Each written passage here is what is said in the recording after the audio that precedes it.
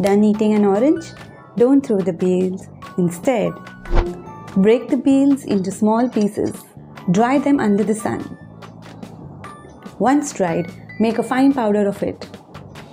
This powder is loaded with nutrients and can be used in your skincare routine.